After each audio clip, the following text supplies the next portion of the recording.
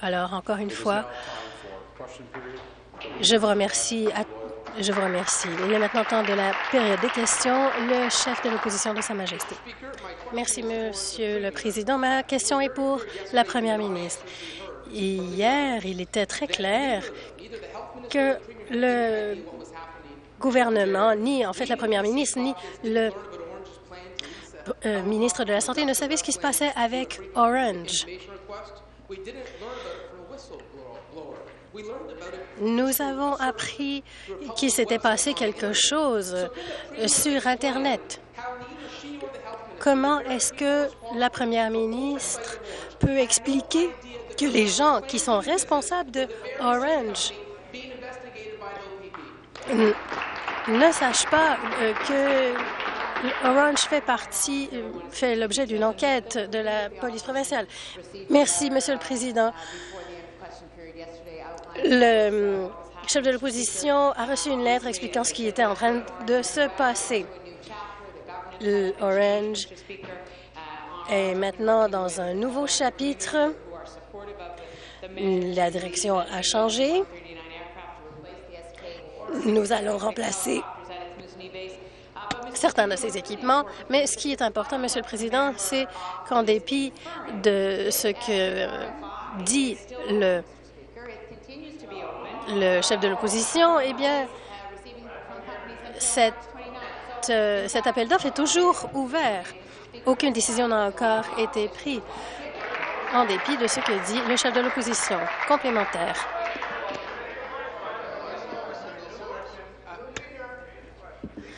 Intervention du président. Ça suffit. Et je vais... Je vais euh, enlever la parole à tous ceux qui disent que c'est drôle. Encore à la première ministre. À la fin de la période des questions hier, j'ai reçu une lettre datée du 10 février de cette année de Orange à la ministre adjointe sur l'avion à Westland. Il est clair que la première ministre n'a été mise au courant qu'après que j'ai soulevé la question ici en Chambre. Est-ce que la première ministre ou euh, le ministre de la Santé savait quoi que ce soit à propos de cette, euh, cet enjeu? Est-ce que ou est-ce que euh, nous manquons de surveillance, comme d'habitude, sous ce gouvernement? Merci, Monsieur le Président. Ce sont des accusations graves et nous voyons les vraies couleurs du chef de l'opposition. C'est une campagne de solissage que l'on tente de faire ici. Quelle est la différence qu'ils font? Là, comme l'a dit la première ministre, il y a deux hélicoptères à Nocini qui sont à la fin de leur vie utile. Nous avons pris la décision, après consultation avec Orange, de remplacer avec d'autres hélicoptères de manière à ce que nous ayons une seule flotte d'hélicoptères. Nous avons des pilotes qui sont formés sur euh, ces appareils. Donc, nous avons demandé des informations et en dépit de ce que dit le, chef de l'opposition, euh, plusieurs compagnies ont démontré de l'intérêt. Merci. Complémentaire final. Monsieur le Président, à la Première ministre, lorsqu'une question de politique publique est soulevée, le gouvernement décide d'attaquer. Et je veux dire que le rapport de 2012 sur Orange, c'est que la gestion n'a pas été bonne voilà un exemple de ce qui se passe lorsqu'on ne surveille pas les agences gouvernementales. Il y a eu des drapeaux rouges et on aurait dû savoir que bien des mauvaises choses se passaient à Orange. Cette lettre d'Orange qui dit euh, cette lettre qui dit qu'ils accordent un contrat à une seule personne et le gouvernement libéral aurait dû intervenir. Est-ce que la première ministre, après avoir vu cette lettre, pourquoi est-ce qu'ils n'ont pas annulé ce contrat douteux? Rassoyez-vous, s'il vous plaît. Rassoyez-vous. Merci. Le ministre. D'abord, il n'y a pas de contrat, Monsieur le Président. Comme je l'ai mentionné, Lorsque, si une compagnie exprime son intérêt, d'ici la fin du mois, nous allons passer un appel d'offres et dans ce cas, il y aura un commissaire qui évaluera le procès pour, assurer la transparence et l'équitabilité. Et je voudrais expliquer à quel point ce processus est transparent. Et Augusta Westland coopère euh, totalement avec la police provinciale sur son enquête. Pour la maintenance des hélicoptères, évidemment, il faut euh, avoir des liens avec la compagnie parente. Alors, il y a des liens euh, avec la compagnie d'origine, c'est évident. Donc, il faut y avoir un lien pour maintenir les hélicoptères en ce moment. Ils pensent de danger Et, nous savons bien que si nous ne maintenons pas les hélicoptères comme il faut, eh bien, c'est un danger pour les pilotes. Le président d'Orange a envoyé une lettre au ministre pour dire que le, que Augusta avait des liens douteux avec Orange. Alors, ma question est pour la première ministre. Hier, j'ai demandé à la première ministre euh, quel était le contrat avec Orange? Et elle a dit qu'elle ne savait pas de quoi il s'agissait. Est-ce que la première ministre peut expliquer pourquoi elle ne savait rien de ce contrat controversé? Pourquoi est-ce qu'elle ne fait pas son travail pour protéger les patients et les contribuables de l'Ontario? Merci.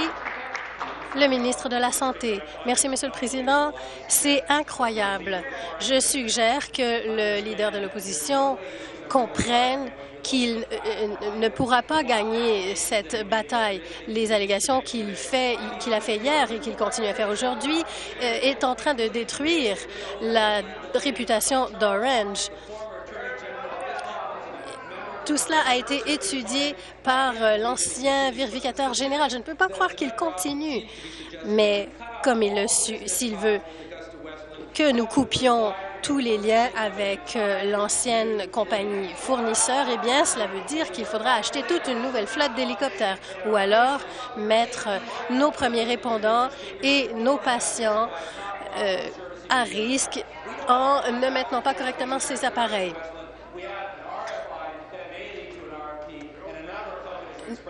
Plusieurs compagnies ont déjà exprimé leur intérêt. C'est un contrat ouvert pour l'instant à la, Première ministre. Intervention du président. C'est assez. Je vais nommer des individus maintenant, même si vous lancez quelque chose de très rapide. Terminez, s'il vous plaît. Merci, Monsieur le Président. Nous avons touché ici le nerf de la guerre. Nous avons trouvé euh, quelque chose que nous tentons d'exposer. Je ne comprends pas pourquoi le gouvernement fait affaire avec une compagnie qui fait l'objet d'une enquête criminelle ici en Ontario. Mais il y a pire. La même compagnie, Augusta Westland, qui a disgracié euh, un de ses membres, a subi des accusations pour un contrat douteux. Maintenant, il y a une enquête pour euh, un approvisionnement unique. Pourquoi est-ce que vous pourquoi est-ce que vous faites affaire avec une telle compagnie? Merci. Asseyez-vous, s'il vous plaît. Merci.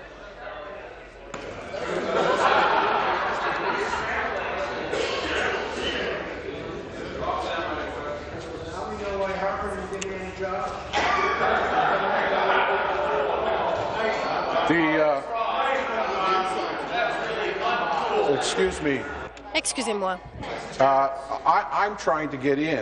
Moi, j'essaie d'intervenir et je vais intervenir, mais vous ne m'aidez pas. Le ministre de l'Énergie va retirer ses propos. Je retire mes propos. Le ministre de la Santé. Merci, Monsieur le Président. Je comprends que le député d'en face euh, exprime des préoccupations par rapport à une compagnie qui coopère avec une enquête de la police provinciale, une enquête qui se centre sur l'administration précédente à Orange. Mais comme je l'ai mentionné, et Comme euh, le suggère le chef de l'opposition, je ne vais pas abandonner toute une flotte. Il faut maintenir un lien avec euh, la compagnie parente de la flotte actuelle de manière à maintenir et à entretenir les appareils que nous avons. Lui, il suggère de couper tous les liens avec Augusta Westland, ce qui ne convient pas du tout et c'est complètement euh, non pratique parce que nous mettons des pilotes, des premiers répondants et des patients à risque ou alors nous devrons euh, dépenser des millions et des millions de dollars pour acheter une nouvelle flotte. C'est complètement inapproprié. La compagnie coopère avec la police et cela continuera. Complémentaire à la Première ministre. J'aimerais bien avoir une réponse sérieuse à une question sérieuse. C'est une société qui fait l'objet d'enquêtes à l'échelle du monde. En Suède, en Inde, c'est une société qui essaie d'influencer le gouvernement. Mais le Parti libéral choisit de travailler avec société, malgré que la VG a dit que nous n'avons pas besoin d'autres hélicoptères. Si vous ne voulez pas répondre en ce qui concerne la protection de l'argent des contribuables, parlons des, des patients et des, préoccupations en matière de santé reliées à ces hélicoptères. Le rapport de la VG a dit qu'il n'y a pas suffisamment de place pour faire de, la réanimation cardiopulmonaire. Un rapport du coroner a dit que des problèmes de ces hélicoptères ont entraîné des décès de huit patients c'est au détriment des patients, au détriment des contribuables. Pourquoi est-ce que le gouvernement travaille avec une société qui fait l'objet d'une enquête criminelle? Essayez-vous, le ministre. Merci. Je vais le réaffirmer. Nous avons deux hélicoptères Sikorsky qui sont dépassés. On doit les remplacer et ils seront remplacés par un hélicoptère d'Augusta Westland.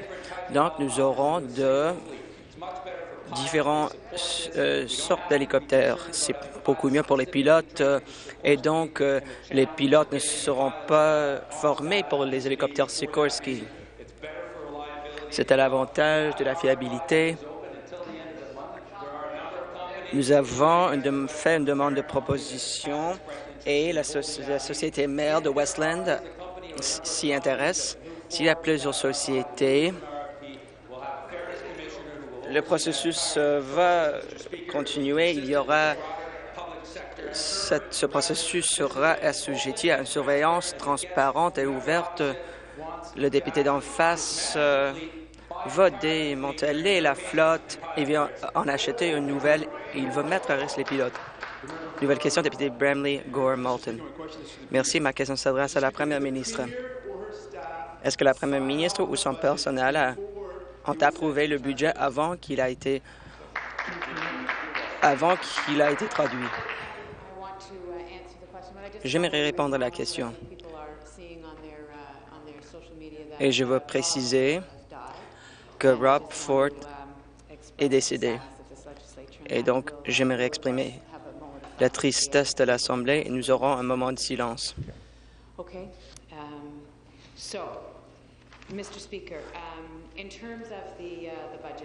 En ce qui concerne le budget, um, uh, je veux que les députés d'en face comprennent que nous avons écouté les gens à l'échelle de la province. Moi, je vois à l'échelle de la province. et donc nous entendons parler des questions qui ont été reflétées dans nos décisions et dans notre budget par rapport aux échéances plusieurs groupes euh, ont fait des interventions devant le comité et leurs idées font partie du budget. Et je vais revenir à ces idées dans la, réponse complémentaire. Il y avait beaucoup de renseignements utilisés après la traduction. Complémentaire.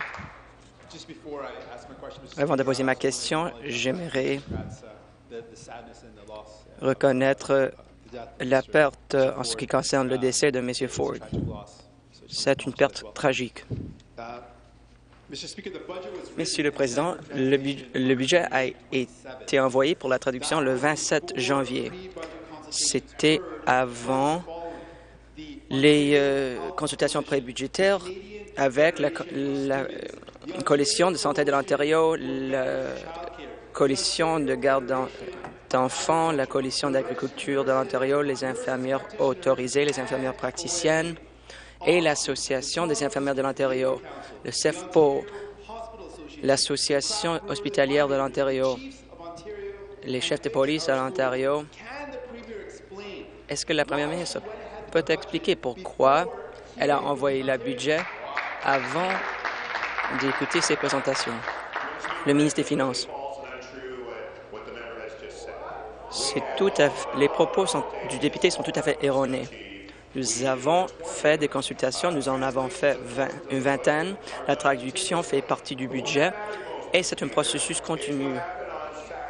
Mais ce qui s'est passé le, le, samedi 20 février, c'est j'étais dans mon bureau, j'ai étudié le budget et j'ai apporté des modifications au budget.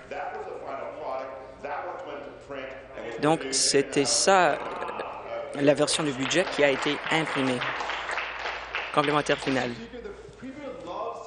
La première ministre aime bien parler des consultations et des con conversations. Mais ça veut dire écouter et non seulement parler. Le gouvernement libéral avait déjà écrit le budget lors des présentations du public. Est-ce que la première ministre va s'excuser auprès des Ontariens? Du fait qu'elle n'a pas respecté le processus de consultation. Le ministre des Finances, le travail du comité et de la Chambre en ce qui concerne la consultation avec le public afin d'éclairer le budget, c'est tout à fait critique. Moi, je faisais partie de ce comité et je sais à quel point ce comité est important. C'est pour ça que j'ai fait une présentation devant le comité et j'ai eu l'occasion de m'exprimer quant aux actions du gouvernement et quant au point de vue du Parti conservateur et du Parti néo-démocrate. Et les gens qui ont été évoqués par les députés font partie, en fait, du budget. Donc, je peux vous parler des enjeux 3 millions de dollars pour l'innovation bio-industrielle à Hamilton, 1 million de dollars pour euh, les... Euh,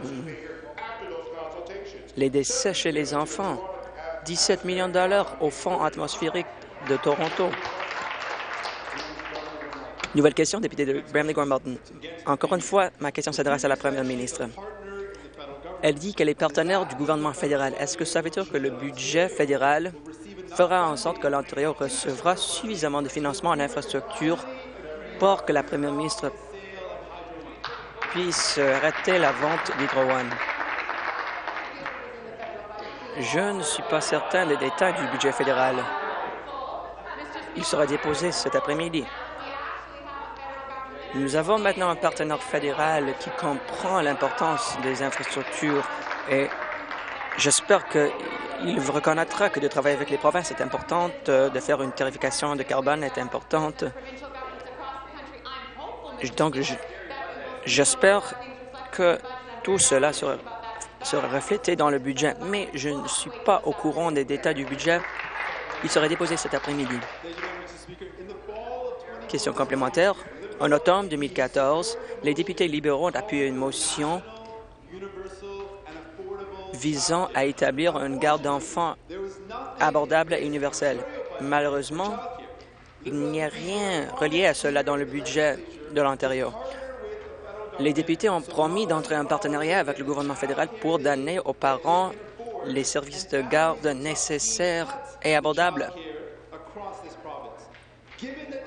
Étant donné que le budget ontarien n'a rien à cet effet, est-ce que la première ministre sait si le gouvernement fédéral va appuyer les services de garde d'enfants abordables en Ontario?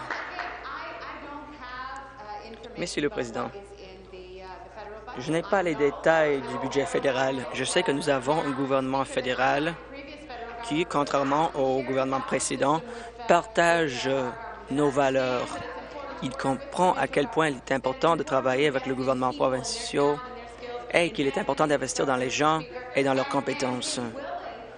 Et il a la volonté de poursuivre ces discussions mais je n'ai pas de renseignements particuliers quant au budget de cet après-midi. Mais nous avons beaucoup fait pour investir des centaines de millions de dollars dans les services de garde. Nous travaillons avec le secteur. Le secteur sera modernisé afin de fournir des services sécuritaires aux enfants en Ontario. Nous allons continuer de le faire, mais le budget fédéral sera déposé cet après-midi. Complémentaire final. Pendant longtemps, les libéraux ont dit que les, problèmes venaient d'Ottawa et ils parlent maintenant de la force de leur partenaire fédéral. Est-ce que cela veut dire qu'à la suite du budget, ils vont arrêter de fermer les écoles d'application, ils vont arrêter d'éliminer des lits d'hôpital et est-ce qu'ils mettront fin à la vente d'Hydro Monsieur le Président, nous avons fait des investissements dans la province. Le député d'en face parle des investissements en infrastructure. En fait, il n'en parle pas. Il parle d'Hydro One, mais il n'appuie pas les investissements en infrastructure.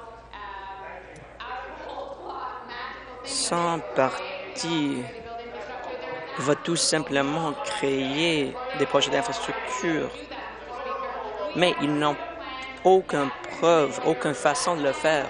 Nous avons un plan, nous le mettrons en place, il fait partie de notre budget. Et étant donné les propos du député, j'espère qu'il va étudier notre budget et j'espère qu'il va l'appuyer. Nouvelle question, question député de Chatham-Kent-Essex. Merci. Au nom des conservateurs, du Parti conservateur, nous aimerions exprimer nos condoléances à la famille Ford. Ma question s'adresse au ministre des Services euh, correctionnels et de la Sécurité communautaire. 21 chiens ont été saisis d'un combat de chiens dans ma circonscription. La Société de prévention de cruauté des animaux a fait une demande pour voir ces chiens, mais finalement, ils n'ont pas été rappelés. Il y a des, bénévoles qui, euh, qui veulent euh, s'occuper de ces chiens, mais ils ont besoin de l'approbation du ministre. Je sais que le ministre a un chien aussi. La province a la capacité de sauver ses chiens, mais seulement le ministre a le pouvoir de sauver ses chiens. Est-ce qu'il a la volonté? Merci. Le ministre. Lorsque je suis debout, vous vous asseyez. Merci. Je remercie le député d'en face d'avoir posé cette question. Je comprends à quel point il s'intéresse à cette question. Nous accordons une valeur à la protection des animaux domestiques de notre province. Comme je l'ai dit auparavant, le député parle d'un processus juridique en cours. C'est un enjeu très difficile et plusieurs organismes sont préoccupés. Il y a une demande qui a été faite euh, au nom de la Société de prévention de la cruauté contre les animaux pour effectuer une euthanasie de plusieurs chiens à cause d'un risque à la sécurité du public. Donc, tout cela relève de la compétence euh, des tribunaux. Au ministre, le ministre ne comprend pas le défi. En réponse, il dit qu'il ne peut rien faire. Ce n'est pas acceptable. Vous avez l'autorité un loi vous permet de donner ces chiens à un organisme désigné sans réglementation formelle. Donc, nous n'avons besoin avons besoin seulement de l'approbation de votre ministère. Par exemple, si votre chien était malade, on, voulait on voudrait toujours une deuxième opinion. Ces chiens n'ont pas de voix, donc je serai leur voix. La prochaine audience est le 18 avril.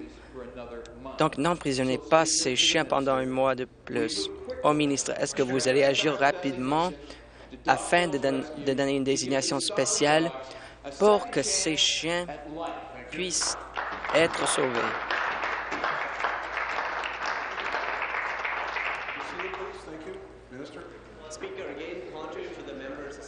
Le ministre, contrairement aux propos du député, le gouvernement de l'Ontario n'a pas de mesures législatives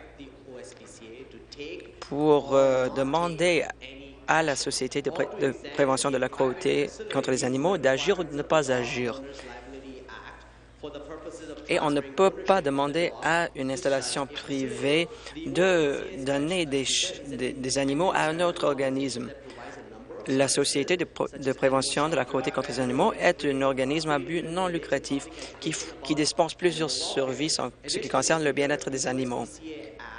La loi sur cette société permet aux enquêteurs d'appliquer toute loi reliée au bien-être des animaux. Les agents de police peuvent aussi appliquer ces lois. Il y a une raison pour laquelle tout cela relève de la compétence des experts à l'extérieur de cette Chambre. Nouvelle question, député de Parkdale, High Park. Ma question s'adresse à la Première ministre. Hier, nous avons appris que le président de l'Union Pearson Express sera licenciée. Elle a tout simplement suivi les ordres de la première ministre.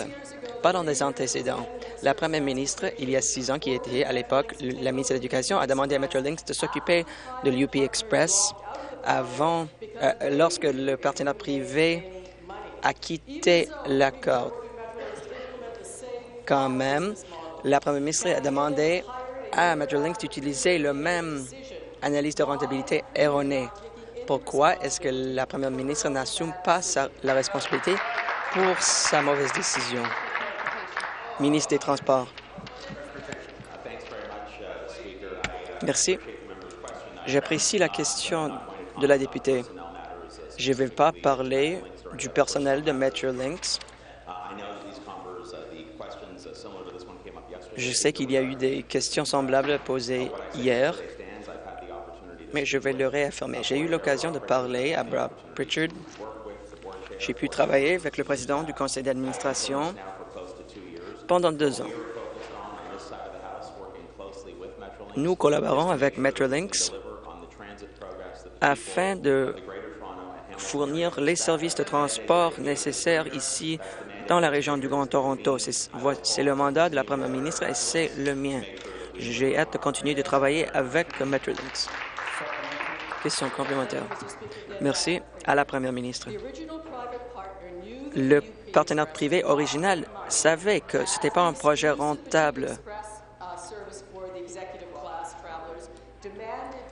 parce qu'un certain... Lorsque le, partenaire a résilié l'accord, la première ministre, qui était à l'époque ministre des Transports, aurait pu résoudre le problème. Elle aurait pu modifier le train pour qu'il soit plus abordable et il aurait pu être électrifié dès le début. Voici les demandes du public. Mais finalement, Metrolinx a bâti ce qu'a voulu son gouvernement. Pourquoi est-ce que Kathy Haley est blâmée à la suite d'une décision erronée de la part du gouvernement? Ministre des Transports. Ce qui est important, il y a quelques journées, nous avons annoncé que le prix des billets de, l'UP Express serait plus abordable pour les gens de cette région. Et selon nos données, depuis ce changement, l'achalandage a connu une augmentation importante.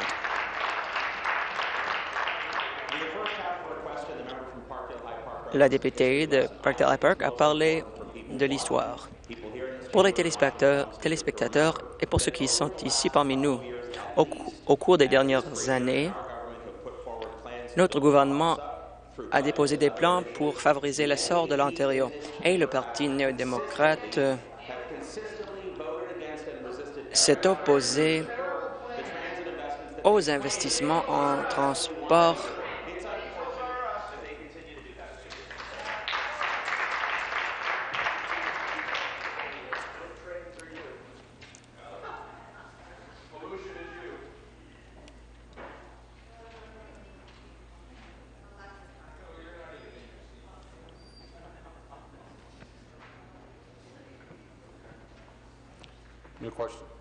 Nouvelle question, député de Glengarry Prescott Russell. La question est pour la ministre déléguée aux Affaires francophones. Dis-moi. Je lui ai donné l'occasion. Député d'Essex, à l'ordre. Veuillez poursuivre. Encore, Monsieur le Président, ma question est pour le ministre délégué aux Affaires francophones. Dimanche dernier, le 20 mars, tous les francophones de l'Ontario, à travers le Canada ainsi que dans les pays francophones du monde entier, ont célébré la Journée internationale de la francophonie. Rappelons-nous, en Ontario, nous comptons plus de 600 000 francophones, soit 5% de la population dans la province, la plus large communauté francophone hors Québec. Aujourd'hui, les Franco-Ontariens peuvent vivre en français grâce à l'accès à l'éducation en français, aux services de santé, mais également grâce aux services multidisciplinaires offerts par les organismes communautaires et culturels francophones. Monsieur le Président, est-ce que la ministre peut nous expliquer ce que le gouvernement fait pour soutenir la communauté francophone? Merci, le ministre. Merci. Le, le député de Glengarry Prescott Russell pour sa question. Je sais qu'il appuie beaucoup la francophonie. Il représente beaucoup de francophones. Alors, j'en profite euh, pour souhaiter à tous euh, les euh, francophones et les francophiles de l'Ontario une belle semaine de la francophonie. En cette semaine spéciale, nous pouvons nous réjouir des efforts que le gouvernement a faits pour améliorer les services en français.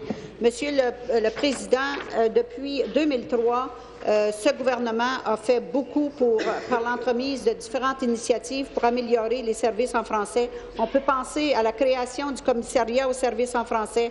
On peut euh, penser à l'établissement d'une cible de 5 pour l'immigration francophone. On peut penser à l'adoption de la loi sur le jour des Franco-Ontariens et des Franco-Ontariennes. On peut penser aussi à l'ouverture de nombreuses écoles, plus de 90 écoles en français en Ontario. Et euh, en terminant, le plan d'action en matière d'éducation postsecondaire en langue française dans le sud-ouest de l'Ontario. Merci, Monsieur le Président.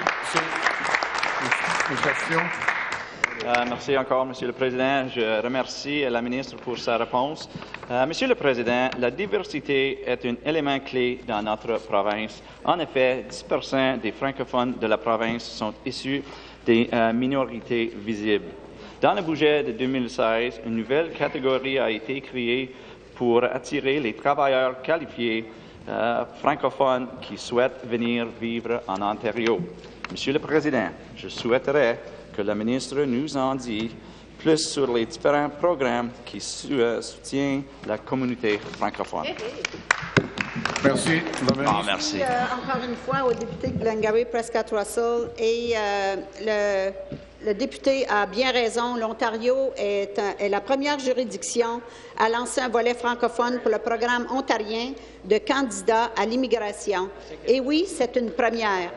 Pour ce qui est des autres programmes qui permettent d'améliorer l'accès aux services en français, nous pouvons compter sur le projet pilote, par exemple, sur les services en français dans le palais de justice d'Ottawa, un projet qui permet de renforcer l'accès à la justice en français.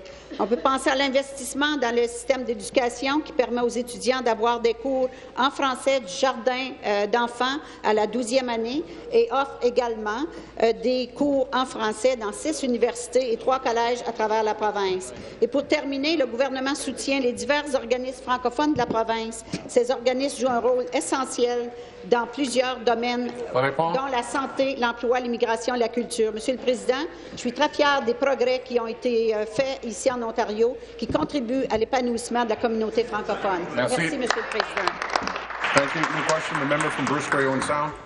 Député de Bruce Gray Sound. Merci. Ma question s'adresse au ministre de la, ministre de la Santé et des Soins de longue durée. Je veux citer le ministre. Nous essayons de faire en sorte qu'il soit plus facile pour euh, le public d'avoir accès à un médecin. Et, Monsieur le Président, ce gouvernement libéral euh, travaille depuis 13 ans, est au pouvoir depuis 13 ans et ma collectivité, nous avons beaucoup de difficultés. Dans ma circonscription, nous avons toujours de grands besoins. Mes commettants n'ont pas eu un accès aux médecins de famille depuis 13 ans et c'est inacceptable. Pourquoi est-ce que votre gouvernement refuse d'amener des services pour les gens de ma circonscription? Ministre, merci, Monsieur le Président. J'apprécie la question. C'est une question très importante. Nous continuons à augmenter la disponibilité des médecins et autres fournisseurs de soins de santé, par exemple les infirmiers et infirmières. Nous voulons nous assurer que nous euh, améliorons l'accès à ces professionnels de la santé. Nous voulons démontrer non seulement les améliorations qui ont été faites depuis la dernière décennie, c'est en fait euh, parmi les meilleures améliorations qui ont été faites depuis les dernières années. J'ai aussi publié un, un papier de discussion sur notre système de soins de santé afin que nous puissions faire ces pas vers le une amélioration des, de l'accès aux médecins de famille pour les 6% de la population qui n'y ont pas accès. Monsieur le Président, je serai heureux de donner plus de commentaires au cours de la complémentaire. Complémentaire. Merci encore au ministre. Votre gouvernement est en charge depuis 13 ans et pourtant 300 collectivités sont sous-servies. Ce n'est pas un des bilans que vous pouvez défendre. Nous faisons face à de hauts besoins et encore pire, le ministre a coupé l'accès de la péninsule de Bruce. Il a coupé l'accès à une, une région qui a de grands besoins. Intervention du président.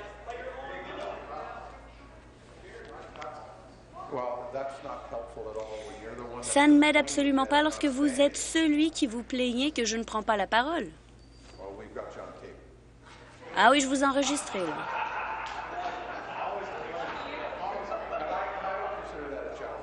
Et je ne crois pas que ce soit de défier la, la présidence ici. Votre propre ministère est sous-servi. Il est temps d'arrêter les excuses et de parler de platitude. L'accès à un médecin de famille, ce n'est pas un, objectif illusoire, c'est essentiel. Les gens s'attendent à ce que cette région soit redésignée comme ayant de hauts besoins. Allez-vous le faire aujourd'hui? Le ministre. La désignation de hauts besoins est une désignation très importante. Par exemple, ça donne accès à des médecins dans un modèle d'équipe de santé familiale. En fait, euh, dans la circonscription de la députée de, Liberton Cohort Lex et du député de Chatham Kent Essex seront d'accord avec moi puisque au cours des derniers jours, une grande partie de, la, de leur région ont été désignés comme ayant de hauts besoins. Ce que je demande aux députés de l'autre côté, c'est alors que, comme ces deux collègues ont fait, c'est est-ce qu'il peut travailler avec moi s'il a des inquiétudes concernant la désignation, mais c'est fort venant de ce parti qui a mis à pied euh, des milliers d'infirmières qui ont fermé des hôpitaux de maintenant se plaindre du manque d'accès aux soins, puisque les actions qu'ils ont prises lorsqu'ils étaient au pouvoir nous ont mis dans cette situation. J'espère que le euh, député de l'autre côté voudra travailler avec moi. Nouvelle question, député d'Oshawa. Merci. Ma question s'adresse à la ministre au ministre de la Sécurité communautaire et des services correctionnels. Il y a deux semaines, j'ai demandé aux gens, au ministre, de m'aider à agir sur les besoins de la SPCA qui euh, voulait euthanasier plusieurs chiens, alors qu'il y a un organisme qui peut réadapter ces chiens. Et, Monsieur le Président, ces chiens devraient se retrouver dans, une dans un organisme de sauvetage. L'application judiciaire de la SPCA su, dans les tribunaux concernant la race de ces chiens est essentielle. Est-ce que le ministre travaillera avec moi pour éliminer cette interdiction de ce, cette race en Ontario? Le ministre. Cette question a déjà été posée et donc ma, réponse euh, ne changera pas. Au contraire de ce qui est dit par la députée, le gouvernement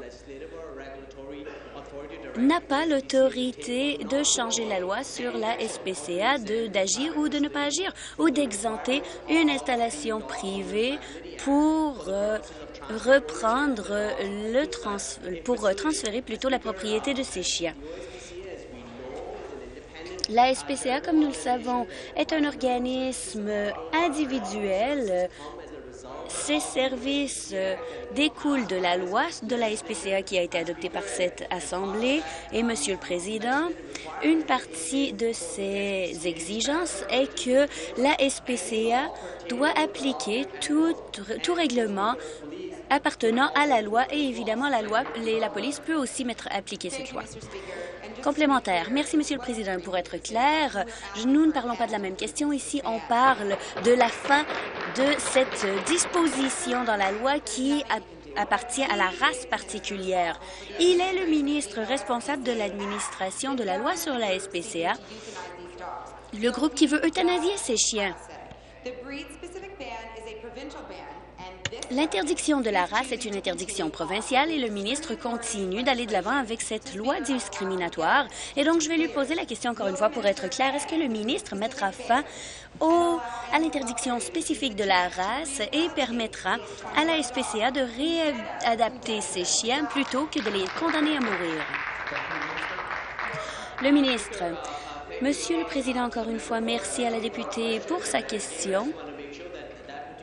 Je veux être certain que cette loi particulière soit appliquée par cette Assemblée pour assurer la sécurité publique. Il y a beaucoup de situations où une race particulière d'un chi de chien ont mené à mettre en danger la vie tout particulièrement d'enfants.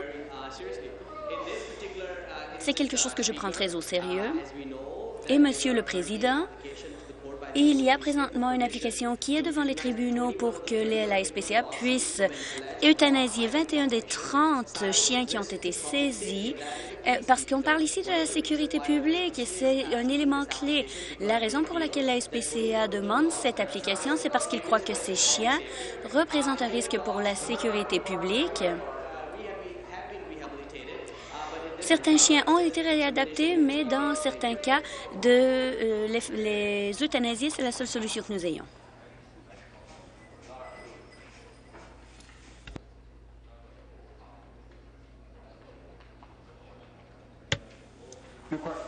Nouvelle question. Député de Northumberland-Quinty-West. Merci, Monsieur le Président. Ma question s'adresse au ministre de la Sécurité communautaire et des services correctionnels et ça n'a pas trait à la SPCA. Monsieur le Président, hier, le ministre a tenu une nouvelle, une annonce pour une nouvelle stratégie dans ma collectivité de Port Colborne. Intervention du président. Ça n'aide en rien. Ministre des Affaires autochtones,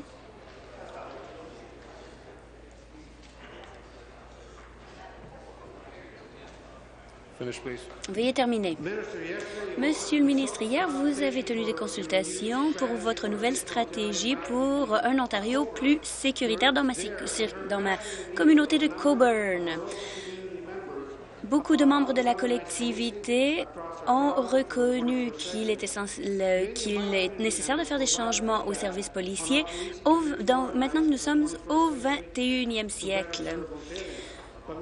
Monsieur le Président, les Ontariens partout en Ontario ainsi que ceux qui se présentent ici à l'Assemblée doivent comprendre ce que cette stratégie de consultation représente.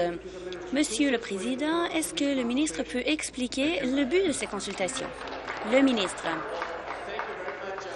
Merci beaucoup, Monsieur le Président. Je veux remercier le député de Northumberland-Quinty-West pour son hospitalité hier, alors que j'étais dans sa collectivité de Colburn. Nous avons eu une journée très fructueuse alors que nous avons visité différentes associations, entre autres une association qui euh, aide au sauvetage. Et, Monsieur le Président, nous avons eu l'occasion de rencontrer le chef de police de Colberg ainsi que euh, le commandant des forces de la PPO et de parler de l'excellent travail qu'ils font dans le comté de Northumberland pour s'assurer de la sécurité du public. Monsieur le Président, avec la stratégie de consultation pour la sécurité, il y a eu une excellente présence du public. La salle était pleine. Nous avons dû amener plus de tables et de chaises. La collectivité a vraiment participé afin de nous aider à construire un Ontario meilleur. Complémentaire. Merci, Monsieur le ministre. Je suis heureux d'entendre que vous avez fait de grandes consultations sur ce sujet pour obtenir des résultats qui sont fondés sur les expériences. Nous avons rencontré des gens hier qui travaillent de façon acharnée afin de maintenir la sécurité dans nos collectivités. Nous devons nous concentrer sur le, le fait qu'il faut régler les problèmes et avoir un effort plus coordonné pour les différents types de services. De cette façon, les collectivités seront en mesure de répondre aux crimes, aux, enjeux sociaux. Et donc, Monsieur le Président, est-ce que le ministre peut expliquer comment cette stratégie pour un Ontario plus en sécurité nous permettra d'avoir de meilleurs résultats dans la province? Le ministre, c'est une période très excitante ici dans l'histoire de, des forces policières en Ontario. Nous voulons avoir eu des forces policières qui sont mieux organisées, vraiment des forces policières du 21e siècle pour l'Ontario. C'est la possibilité ici pour, notre pour nos, forces policières d'être des chefs de file en Amérique du Nord, de protéger les collectivités et de leur montrer comment nous pouvons passer de l'application de la loi qui réagit à une euh, action qui est proactive. Nous voulons mieux utiliser la sécurité communautaire afin de s'assurer que nos collectivités soient en sécurité et sécuritaires. Nous voulons définir le rôle d'un officier de police au 21e siècle, la façon dont on, ils agissent au bon moment, au bon endroit et de la bonne façon. Monsieur le Président, nous avons demandé aux gens de se joindre à nos consultations. Euh, vous pouvez aller sur ontario.ca euh, barre oblique, consultation s'ils veulent participer. Nouvelle question, député de Oxford.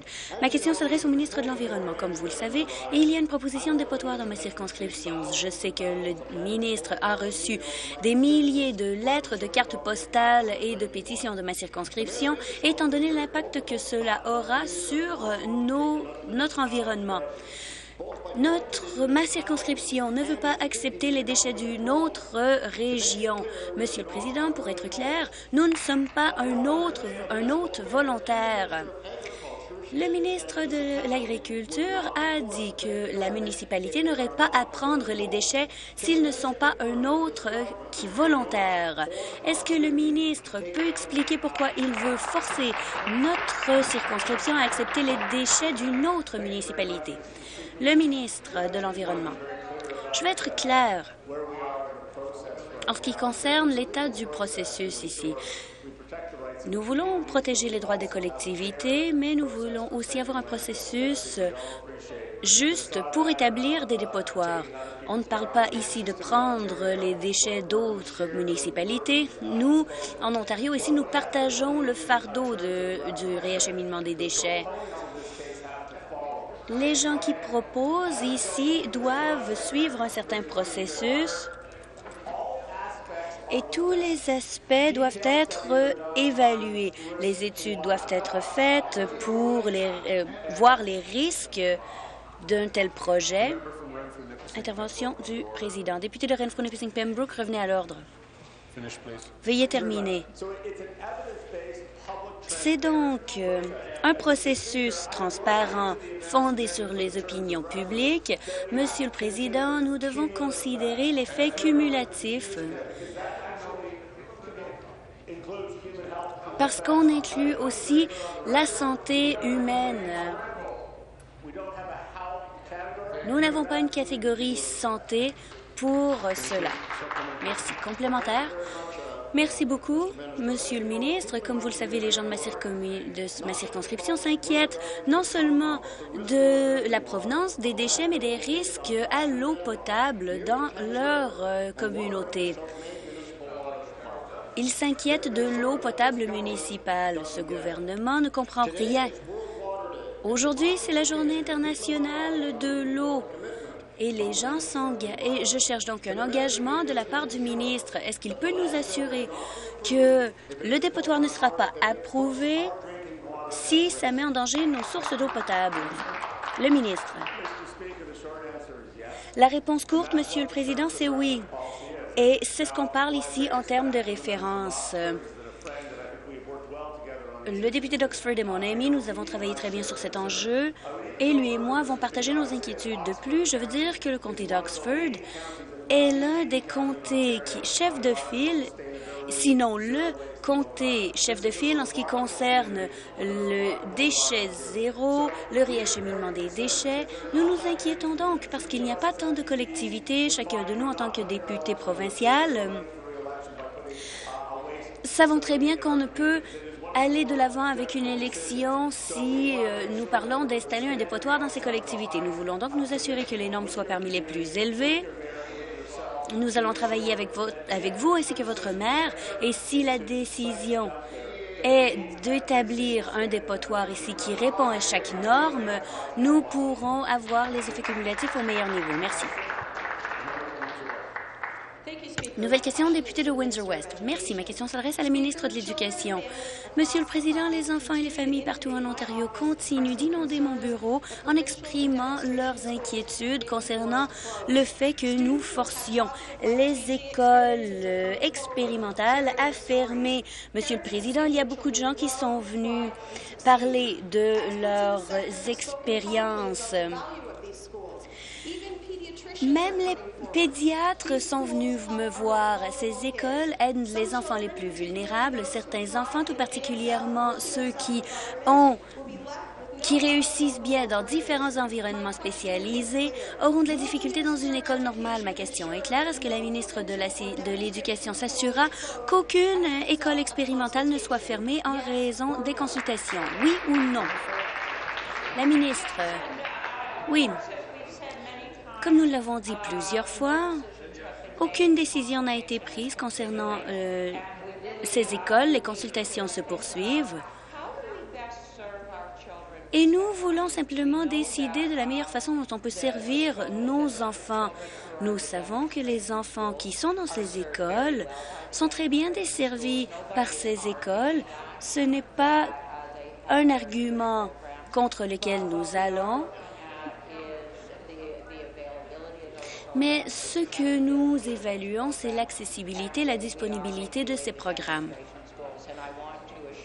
Je veux rassurer les gens que les consultations se produiront le plus, le plus rapidement possible et qu'aucune décision n'a été prise pour le moment.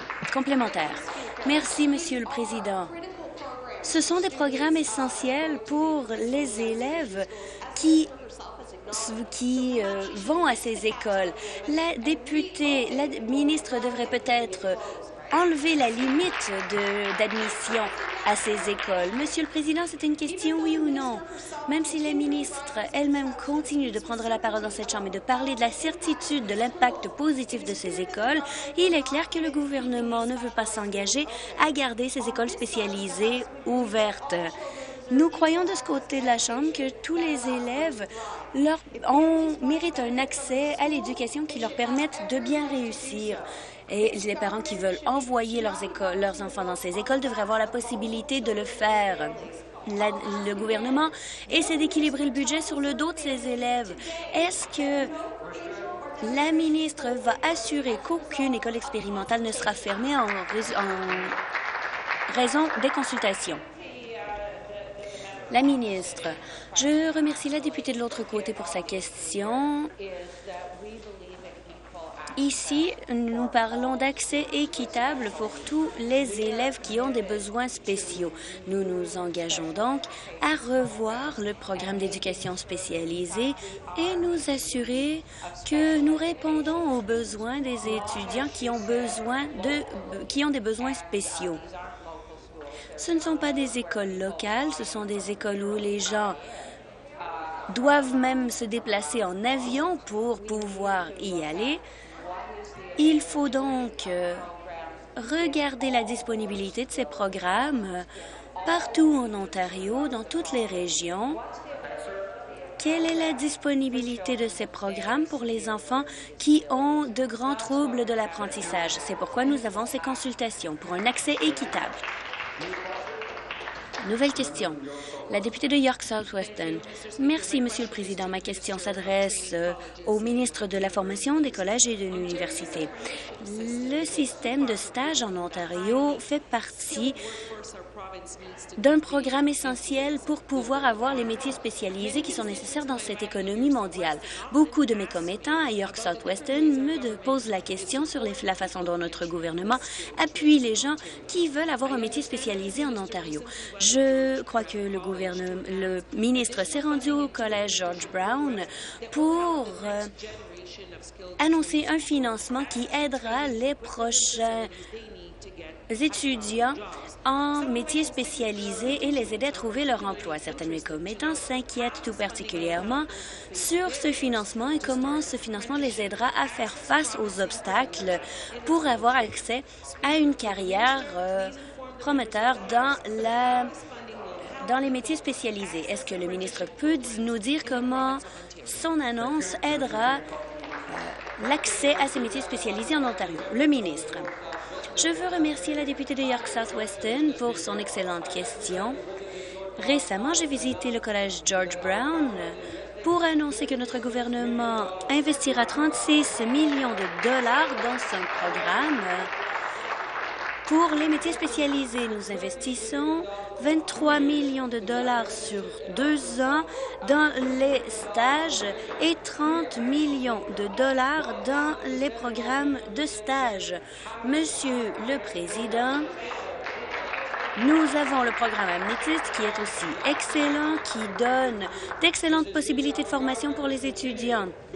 Notre gouvernement continue à faire progresser l'Ontario pour s'assurer que les gens puissent trouver des emplois. Et je veux saisir l'occasion de remercier tous les instructeurs dans nos 68 collèges qui aident à former les gens. Je veux les remercier de leur bon travail. Merci. Complémentaire. Merci. Merci au ministre sa réponse. C'est tout à rassurant de savoir que notre gouvernement s'engage à aider les gens à accéder au programme d'apprentissage. Le programme Hammerhead, c'est un excellent programme. Cela, ce programme se fait chez moi et le programme a aidé beaucoup de jeunes. Plusieurs de mes concitoyens qui sont des nouveaux arrivants me parlent des défis à relever en ce qui concerne des nouveaux emplois parce qu'ils n'ont pas suffisamment de formation pour exercer un métier spécialisé. L'une des priorités du ministre est d'appuyer les nouveaux arrivants pour qu'ils puissent euh, devenir stagiaires. Est-ce que le ministre peut parler des progrès qui seront réalisés afin d'aider les nouveaux Canadiens avec le programme d'apprentissage? Le ministre, la députée travaillante de York Sud-Western a tout à fait raison. Un sur cinq nouveaux emplois sera relié aux métiers spécialisés. Et je suis heureux de dire que le programme d'apprentissage de l'Ontario finance des projets visant à appuyer les nouveaux arrivants pour qu'ils puissent accéder à ces programmes d'apprentissage. Je suis heureux de pouvoir dire que nous investirons presque 3 millions de dollars pour 13 programmes d'apprentissage visant à aider les nouveaux arrivants notre gouvernement continuera d'investir dans les gens en appuyant des métiers ici en Ontario. Nouvelle question, député d'Elgin Middlesex, London. Ma question s'adresse au ministre de l'Énergie. La semaine dernière, un projet éolien a été accordé à Dunwich. Cette municipalité ne veut pas ce projet. 84% des résidents de Dunwich se sont opposés au projet éolien. Une autre municipalité, Malahide, avait la volonté de, de se faire accorder un accord. Le gouvernement a dit que les municipalités auront leur point de vue respecté quant à ces accords, mais ce n'est pas le cas. Est-ce que le ministre peut expliquer à ces municipalités de ma circonscription pourquoi le gouvernement ignore leur voix? Le ministre de l'Énergie. Monsieur le Président, nous avons un processus d'approvisionnement renouvelable. Il y a eu des consultations larges à l'échelle de la province, y compris avec l'Association des municipalités de l'Ontario. Nous avons fourni des renseignements aux municipalités qui contenaient les détails sur le processus. Aucune municipalité n'a un veto, mais doit être engagé. Mais les projets doivent engager les municipalités. Il, existe des incitatifs pour les municipalités. De 16 accords conclus, 13 avaient des municipalités qui voulaient ces projets. Au ministre.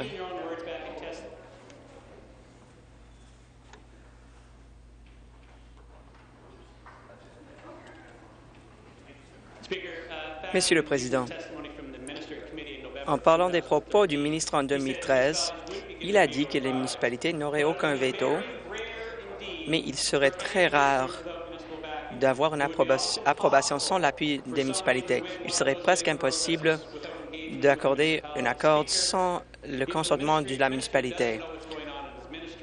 Soit le ministre ne comprend pas ce qui se passe ou il a été malhonnête.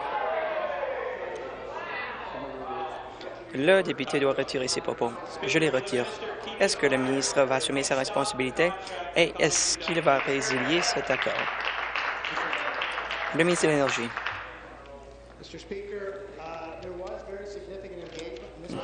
Monsieur le Président, il y avait beaucoup de participation de la part des municipalités. J'ai une citation de Lawrence Pence Bannerman de Dunwich. Elle reconnaît les efforts de la société d'établir un, rendez-vous mensuel. La société éolienne doit faire preuve d'engager la collectivité. Donc, donc, ils avaient des réunions mensuelles avec le groupe de travail, ce qui engage la collectivité locale. C'est une citation de Laurie Spence Bannerman de Dutton Dunwich. Chef de l'opposition, rappel au règlement. Rappel au règlement. Rob Ford nous a quittés ce matin à la suite d'un cancer. La Chambre envoie ses condoléances à ses êtres chers et donc nous faisons preuve que nous sommes en deuil à la suite de son décès. Nous avons le consentement unanime pour avoir un moment de silence. Le chef de l'opposition souhaite avoir un moment de silence pour rendre hommage à Rob Ford. Sommes-nous d'accord? Je demande aux députés de se lever. And observe a moment of silence.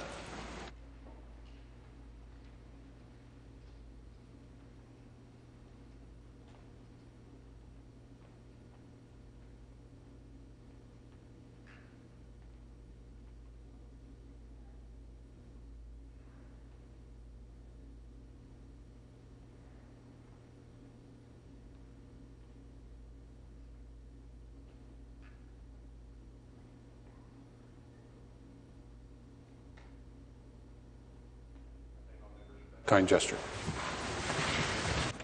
Merci. Nous avons un vote différé sur la motion en ce qui concerne la politique budgétaire de l'Ontario. Convoquer les députés, sonnerie d'appel de cinq minutes.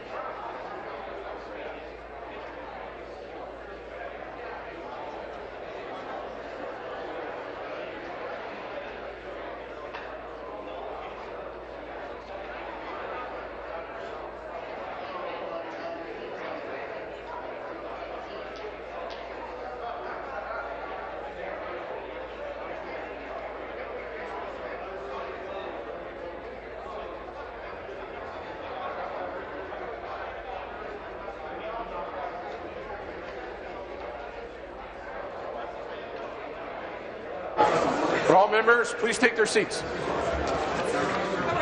Je demande aux députés de bien venir s'asseoir.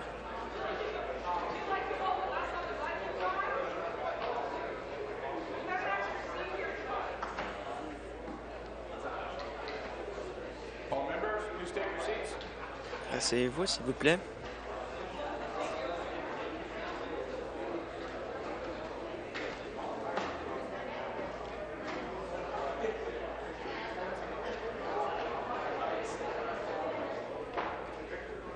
Please. S'il vous plaît. I wonder if there's competition to see who's the last to sit. On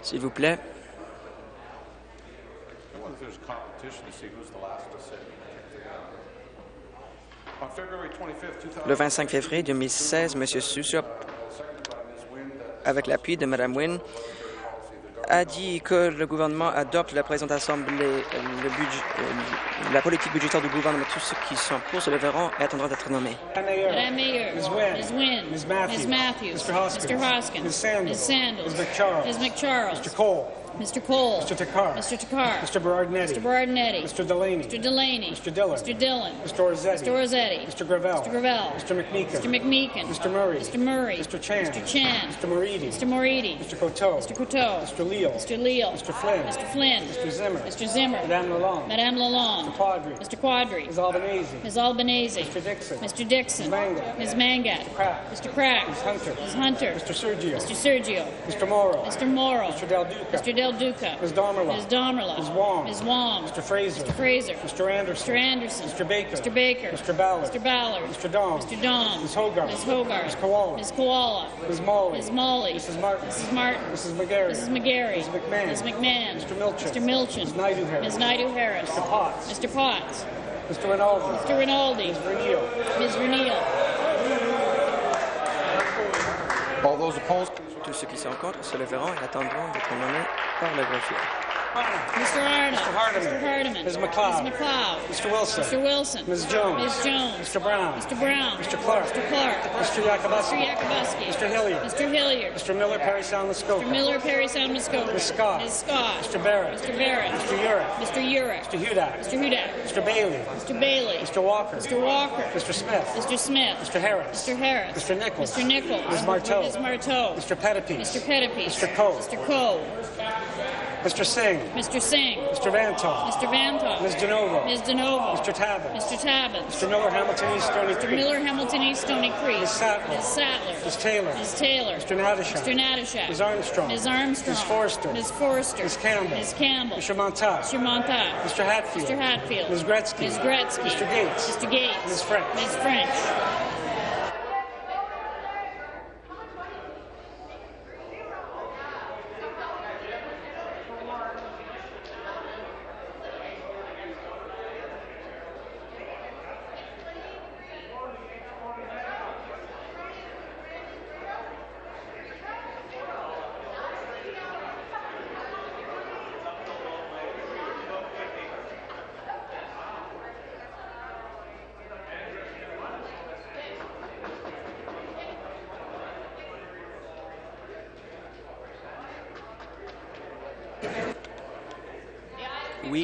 53. Non, 39.